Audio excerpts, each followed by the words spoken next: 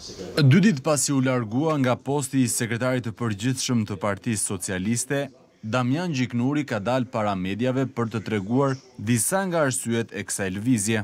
Partia ka filluar një proces analize për sa i përket këtij rezultati dhe në kuadrin e kësaj, Sekretariati i Partisë, i gjithë Sekretariati, ofroi dorëheqjen, iu kërkua dorëheqja dhe me nevojën e riorganizimit të Partisë Socialiste gjithmonë në funksion të reflektimit të rezultatit. Pse? Sepse në shtator do të hyjmë në një proces të zgjedhjes të organizatave të partisë në të gjithë Shqipërinë dhe mendoj që është momenti që ekipi i ri drejtues i sekretarëve të partisë ta ndjekë këtë proces. I pyetur nëse me këtë largim nga poste drejtuese në Partinë Socialiste ai ndjen ndonjë braktisje nga kryesocialisti Rama apo përballje të mundshme me drejtësinë, Gjiknuri kishte një tjetër variant.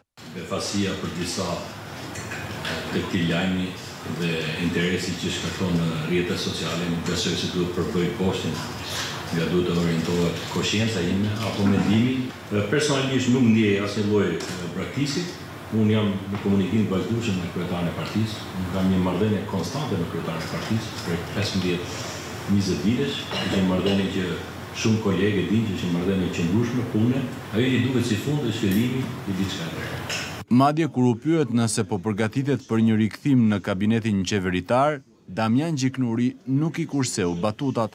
Po ja lë fantazisë tuaj, qoftë mediatike, qoftë personale, për të spekuluar mbi të ardhmen, liria e mendimit, ke të drejtë në spekullime, si. Në krah të Gjiknurit ishte sekretari i ri i përgjithshëm i Partisë Socialiste, Blendi Klosi, i cili theksoi se gjatë këtij mandati të përkohshëm, ai do të kujdeset për organizimin e kongresit të jashtëzakonshëm të partisë në fund të shtatorit.